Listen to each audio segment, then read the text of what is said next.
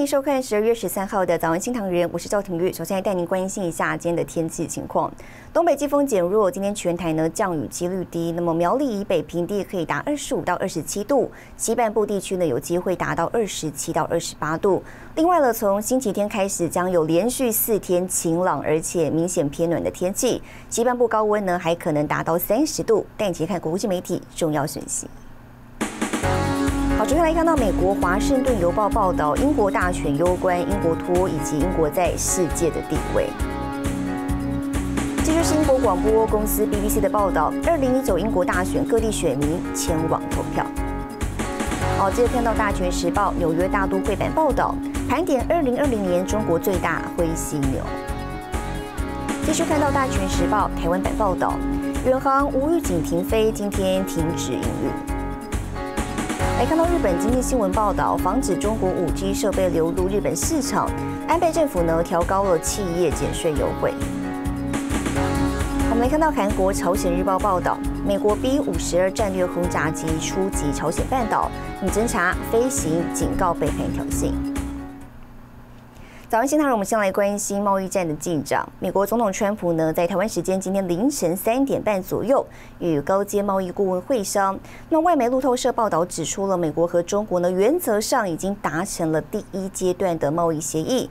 那么预期白宫很快就会发布声明。而外媒《华尔街日报》则是说呢，川普政府可能会取消十二月对中关税一千亿及，削减一半现在已经征收的三千六百亿美元的中国商品关税。而谈判的同时浮现的还有最难的执行机制部分。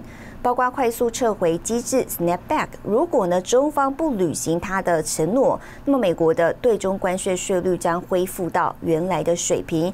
而川普当地时间周四早上九点半也发推文说了，非常接近跟中方达成一笔大协议。他们想要，我们呢也想要。那么消息是激励了美股道琼周四收盘上涨了两百二十点。好，美中贸易战历经十七个月，途中经历了中共毁约，那么现在有望达成第一阶段协议。美国商务部长罗斯对媒体表示了，中共谈判每拖一天，对美国就越有利。President Trump's in a very good negotiating position.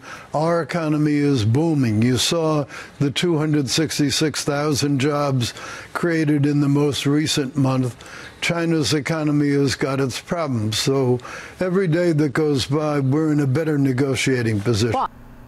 好罗斯透露了，包括盗窃知识产权、强制技术转让以及公平竞争等等呢，都在第一阶段中谈到了。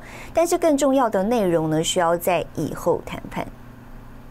十一号，美国福斯财经新闻网刊登美国国务院前顾问惠顿的文章，惠顿指出了美国总统川普不需要跟北京达成贸易协议，不应该在中国共产党陷入困境时为中共提供续命的机会。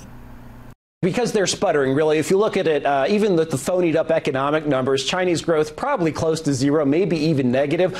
Uh, food prices have spiked over there in part because of mismanagement, in part because of swine flu, uh, and they're swimming in debt, a lot of fake debt. So, a lot of problems and political problems which, that are of their own making in Hong Kong. So, why give them this deal, which frankly they need much more than we do? After all, Trump just got USMCA. January 1st, the US Japan agreement kicks into place. That's another thing Trump has negotiated, which will help farmers and ranchers a lot. So why give the Chinese something right now that, frankly, they need and we don't?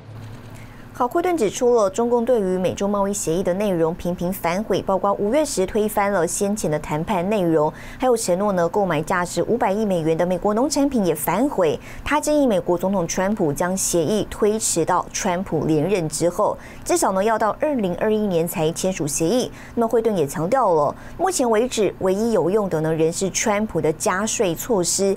中共长期以来签了协议却不执行，美国不能够取消这些关税，盼着中共改革。美国呢必须看到中国改革之后才取消协议。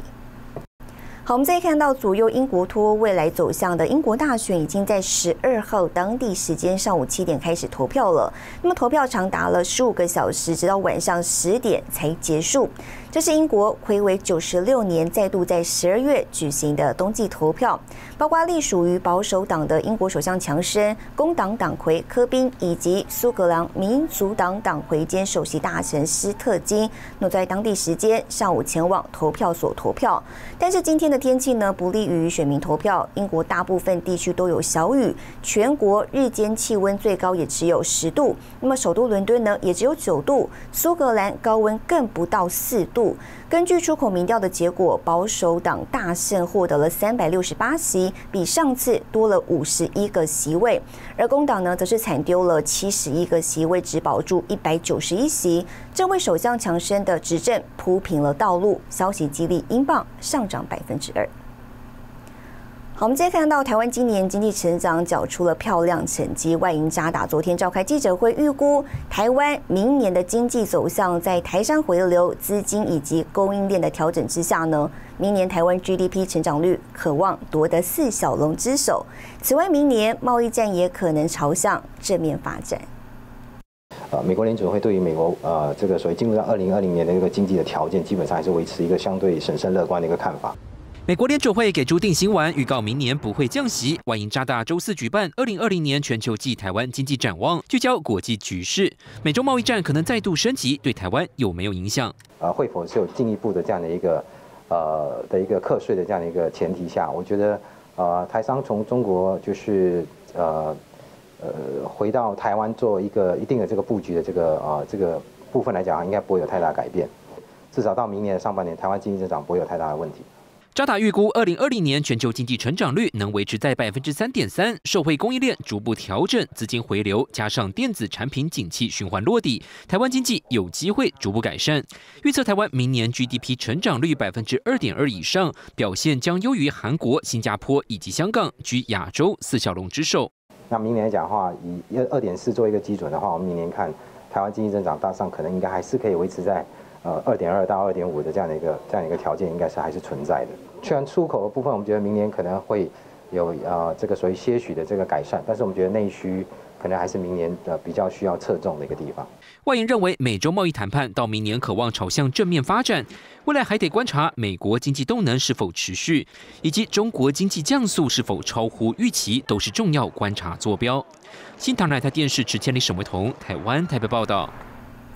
好，我们再关心有一甲子历史的远东航空公司呢，因为不堪长期营运亏损，加上资金运转出了问题，目前在银行部分仍有三千万元的资金缺口。无预警宣布，从今天开始停飞。而民航局呢是紧急召开记者会，表示将会启动远航的信托专户，保障旅客权益，并会请另外两家国际航空来协助补足运能，确保离岛疏运。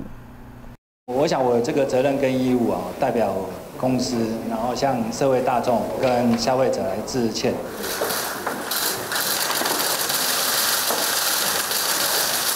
远东航空两位副总站起来，深深一鞠躬，因为远航十二日突然无预警宣布。将从十三日起停飞。民航局与远航高层十二日下午四点半紧急召开记者会，说明由于目前三千万的资金缺口已经暂停营业，但针对旅客与员工权益会做出最大的保障。没想到啊，因为我们之前也一直都是远东的老客户，我们都是做远东的来回。所以没想到他说停就停，也是今天的新闻嘛。远航柜台陆续出现退票民众，就连国民党总统候选人韩国瑜也受停飞影响，取消十三日要前往金门造势的行程。远航副总黄玉琪表示。目前信托专户里有一亿五千多万元现金，加上本票，总数共有二点六八亿元，足以应应后续的退票事宜。为保障旅客的权益，其实我们要求远东它有设一个呃旅客的一个呃信托保证。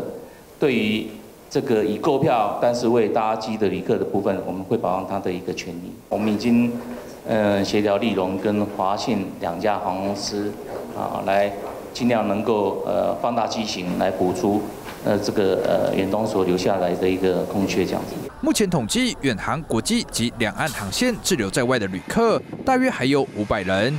由于大多为团客，观光局将协助督导旅行社妥善处理。民航局表示，如果远航明天真的停飞，将严重侵害公众利益。将针对远航开罚最终新台币三百万元罚款，并报请交通部废止营运许可。新唐人电视高建荣、黄立峰，台湾台报道。远东航空步上复兴航空的后尘，今天十三号开始呢，停止一切飞航营运。董事长张刚伟表示，是受到诈骗导致二十年的心血付之一炬，那么要求检调单位清查四人，并要求出面履约解决债务问题。今天上午十一点，张刚伟本人也将现身面对媒体说明。确认未给付之后，就立即通报到中央的重大劳政协调汇报。要求限制张刚伟董事长出境。十二号，远航无预警宣布停飞，违反大量解雇劳工保护法第十二条，被劳动局限制出境，呼吁张刚伟出来面对。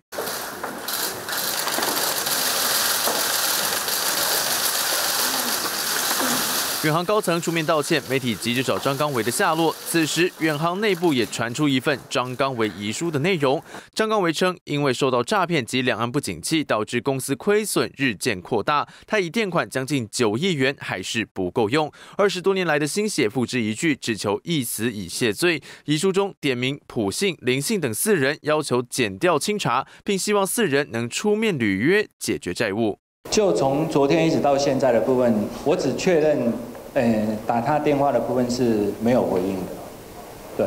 那至于说他现在是在什么位置，呃，我们确实真的不了解。所以我跟国人保证，以后绝对不会有这个问题。张刚维当年处理不良债权，从房地产业起家，以华福建设董事长身份，二零零九年入主远航。但《镜周刊》两年前就曾披露远航财务困境，不光机龄老旧，公司向何库融资的二十二亿元，加上自有九亿元，疑似被张刚维挪移到个人旗下的公司。业界人士分析，张刚为大玩财务杠杆，除了投资航空业，还成立远行旅行社，投资画社商旅旅馆，资金压力庞大，两岸航线未见起色，成了压垮财务。的最后一根稻草。那我们每个月都会定期去查核他的一个财务状况哦。那我刚才说过，目前呃远东的一个财务的部分，主要还是依照依赖董事长的一个资金的依助。其实，在今天之前的部分都还算正常，对他还是正常的上下班。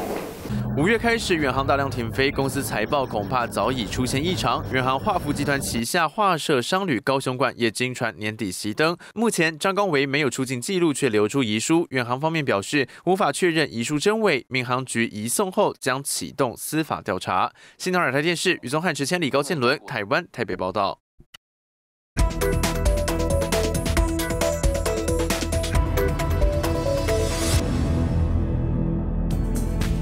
美国联准会宣布货币政策按兵不动，并暗示在经济稳健的情况下，二零二零年整年将按兵不动，在大选之年保持观望。美国十年期公债值利率一度跌破百分之一点八，DXY 美元指数跌约百分之零点三，美国股市则走高。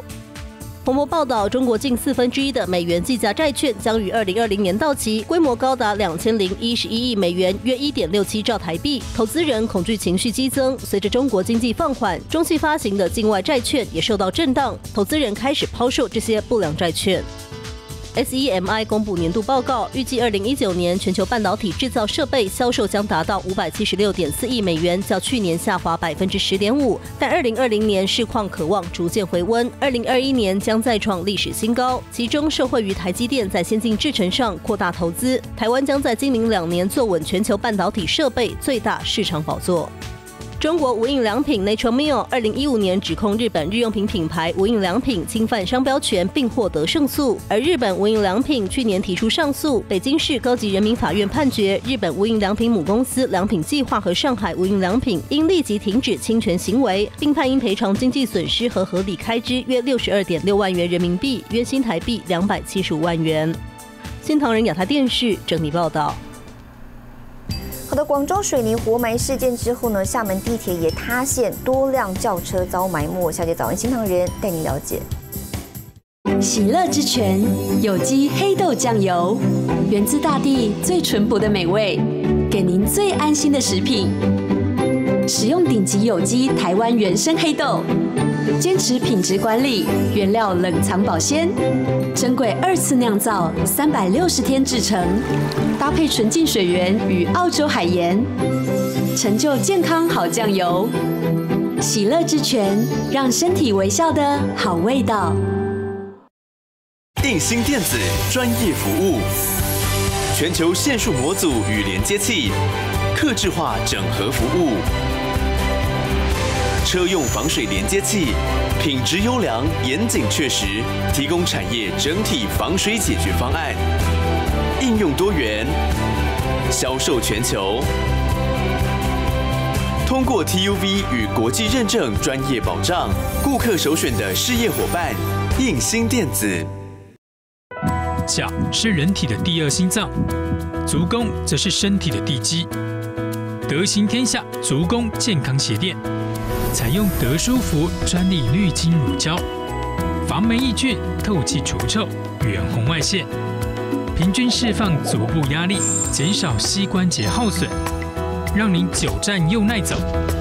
千里之行，始于足下。德行天下，零四二五三一九三八八。the pulse of the city. It's like a heartbeat that never stops. In this vortex, what's important is stability. No matter what shocks life delivers. It's a bumpy road, and on a bumpy road, you need a steady ride. Everyone has that little something that keeps them steady. Stability. It's an art, it's a science.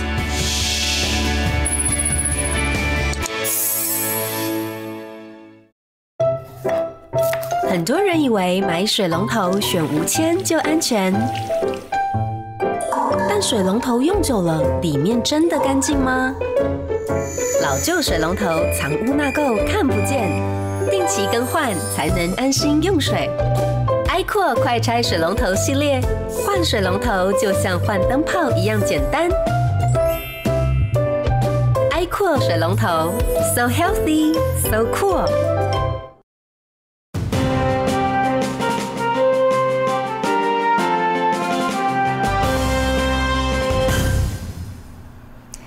在，十二月一号呢，中国广州地铁工程导致主干道地面塌陷之后，昨天晚上厦门地铁周遭呢也发生了地面塌陷，多辆轿车掉落坑内，大量积水涌入车站，那个车都掉进去了。好，十二号晚上九点四十分左右呢，厦门地铁二号线吕厝站附近发生的地面陷落。影片中可以见到多辆轿车是掉入坑内，大量积水涌入了吕厝站站厅、站台以及轨道，导致车站被淹。消息称，塌陷面积约五百平方公尺。那么车上人员已经自行安全撤出了，尚未发现有人员伤亡。另外，这个月的一号呢，广州地铁工程也导致附近主干道出现了三十八公尺的天坑，两车三人坠落，但是当局却回填水泥，导致三人是遭到活埋。家属投诉无门，而网友也愤怒要求检讨道路塌陷的成因。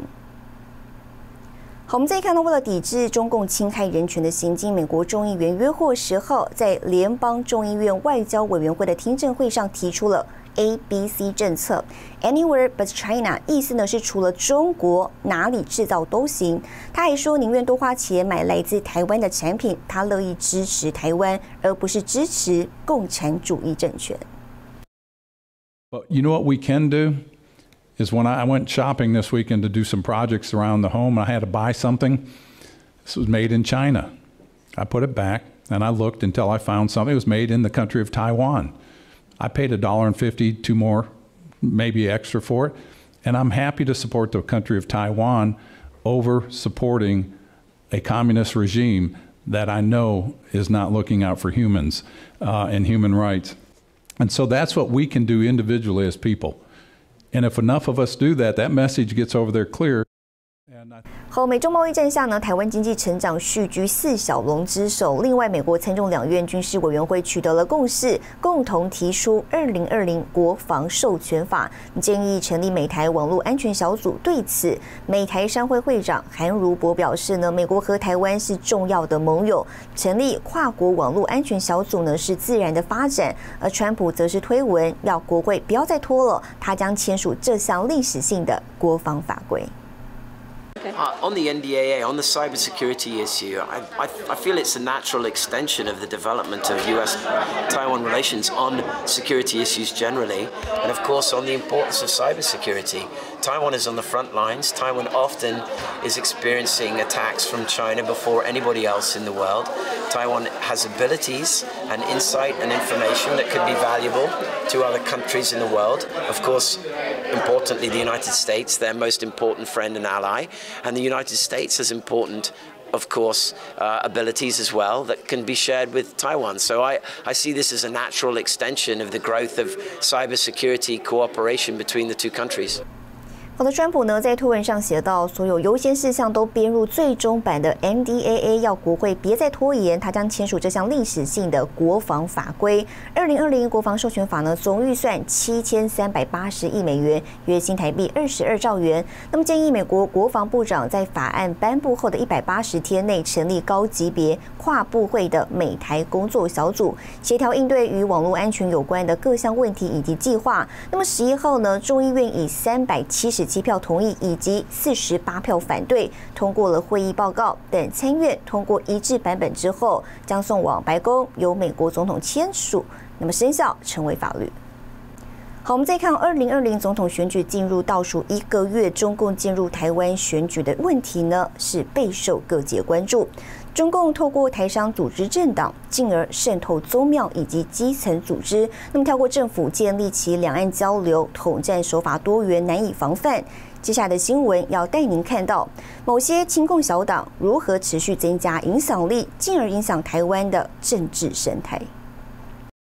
二零一八年六月，全民幸福政党大联盟三周年庆祝大会，聚集了台湾一百五十九个在野政党组成联盟，背后主席是他陈伯光。台湾的发展呢，啊，不但离不开大陆，而且，呃，应该依托大陆。台湾跟台湾人的前途。就在大陆。身为全民幸福政党大联盟的总主席，同时也是中华民族致公党党主席陈伯光，在中国大陆经商，跨足房地产、化妆品等各式产业，在台湾是具有上亿资本额的沃华国际投资控股集团董事长。陈伯光接受港媒中评社专访表示，想团结起台湾百党的主席一起访问北京，听北京对台湾政党的期望，对两岸未来和平统一的工作做出应有贡献。陈伯光先利用。中华民族致公党党主席的身份前往中国会见贵州省统战部长刘小凯以及政协主席刘小瑶，以及中国致公党签订战略合作协议。陈伯光取得中共方面的银弹资源。战略合作协议项目就是要跳过政府，以政党的身份建立与中共的两岸交流制度。有媒体揭露，在台湾彰化的五星庙就是致公党提供资金，还挖出陈伯光与五星庙庙主魏明仁的对话，支持中共武统台湾。而在金门地区，致公党吸收国民党员，扩张影响力，以协会政党、民调、学术讨论及选举等多重布局，正准备一场两岸和平实验区公投。原本张彩明在台湾的公。公司只有一百万台币的资本额。二零一五年以后，张彩明开始转往中国发展，而中国投资成立的两间新公司，资本额加起来竟然超过两亿人民币。与致公党关系密切的经济党党主席张彩明在台湾有多次欠款记录，但到了中国大陆成立公司，资产立刻暴增。二零一九年初，习近平发表对台谈话，声称研究“一国两制”的台湾方案及所谓民主协商。经济党还发起联署表达赞同。台湾基进指出，台湾两百二十四个政党当中，有高达九十八个主张两岸统一，约百分之四十四都是统派政党。他们通常不会直接接触，会透过台商或黑道接触艺人，这个还蛮多的。那如果你的商业利益被他绑死了，他就很容易威胁你，所以这叫用商业模式包装的统战。中共渗透手法多元，正悄悄布局增加对台影响力。如何阻断中共持续渗透台湾民间组织，进而影响台湾政治生态？台湾政府要谨慎应应。新唐人亚太电视整理报道。让太阳帮你创造现金流。彰化永丰太阳能，爱台湾的新选择。台湾制造顶级光电模组，独特上压下锁工法，坚固耐用又环保。申请施工卖电一条龙服务，千两省电，还有二十年稳定收益。太阳能找永丰，你就成为大富翁。摆脱不掉瓶瓶罐罐的宿命吗？康化国际生技带来健康的秘密。白桦茸珍贵罕见，具有丰富的 SOD 抗氧化物，独家栽培台湾特有云芝品种。多糖体含量超过百分之六十，让您健康加倍。康化高倍萃取，男性的健康补给品，女性的保养圣品。选择康化，加入康化，健康美丽不是神话。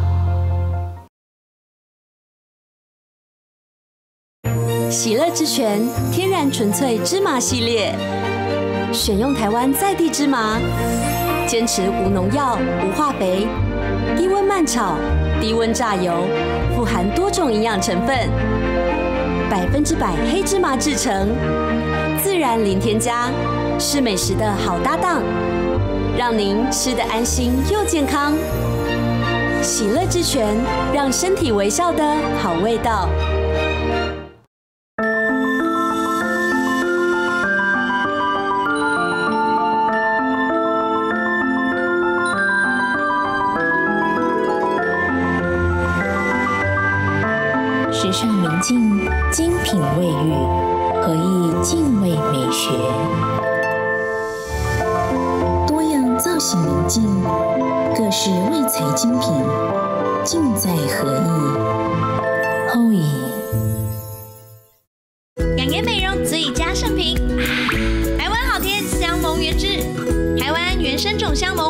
丰富的川橙皮素，调节生理机能，新茯苓促进新陈代谢。陈皮干、橘皮素，让你增强体力，维持健康。自然农法果园，现采直送冷压，S N Q 国家品质认证，给您百分百的安心。生活新主张，香盟最健康，台湾好甜。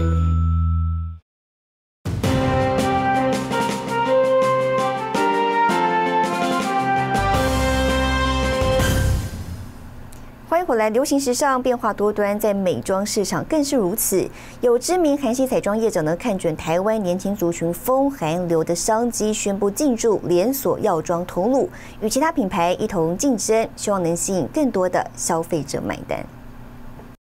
李国义先生，一身粉红色西装登场，台湾男星李国义为韩系化妆品站台，新京帮模特儿擦上唇釉，示范今年韩系彩妆新品。韩系彩妆品牌宣布进驻连锁药妆店，与其他品牌竞争，抢攻年轻族群市场。当然，主攻我们讲的是 Z 世代，就是呃年轻的消费者 Young Generation，运用很。呃，大量的就是新品推陈出新，联名款很有趣的图案，对，然后跟一些卡通合作这样子的一个呃方式，来持续的可以就是抢攻我们的年轻的消费者。根据连锁药妆业者提供的数据，二零一九彩妆热卖前十名，前五名中就有四名为日系品牌，而韩系品牌则分别排名第六、第九及第十。尤其日系彩妆升值台湾多年，市占率比韩系稍高。不过近年韩系彩妆持续成长，加上韩星易注买气，消费者接受度越来越高。日系、韩系各有拥护者。我就比较喜欢韩星画出来的妆感，日系的话比较含蓄一点的感觉。然后因为我又是比较喜欢珠光，日系吧，日系有什么特？感觉就比较真材实料，韩系耶，因为我觉得日系太，我觉得太淡了，我不喜欢很淡的。韩系彩妆不断推陈出新，日系品牌也不遑多让。流行彩妆变化快速，在竞争激烈的市场上，如何抓住年轻消费者的心，是所有彩妆业者关注的课题。新唐亚太电视胡宗汉、叶云儒，台湾台北报道。以上就是今天的早安新唐人，感谢您的收看，我们再会。